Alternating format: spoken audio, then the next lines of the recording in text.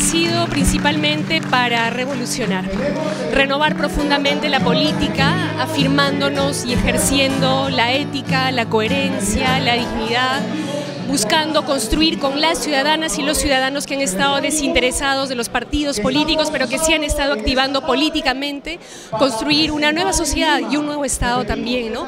Convocando a aquellos que han estado en luchas constantes y cotidianas, pueblos indígenas, mujeres reclamando por su derecho a decidir sobre su vida y sobre sus cuerpos, comunidad LGTBI, estudiantes luchando por una educación más emancipadora, más igualitaria.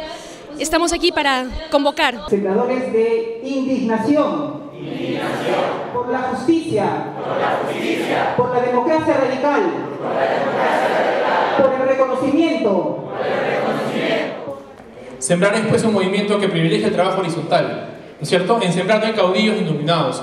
Todos somos iguales, todos somos valiosos, todos trabajamos y cada trabajo que hace cada compañero es de igual de importante y buscamos profundizar radicalmente la democracia, ¿no? ampliando los espacios y los mecanismos de participación ciudadana, transparentando radicalmente todas las acciones del Estado como mecanismo también para erradicar la corrupción. ¿No?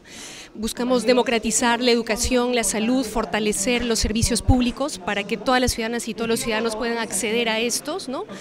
más allá de los recursos económicos que puedan, tener.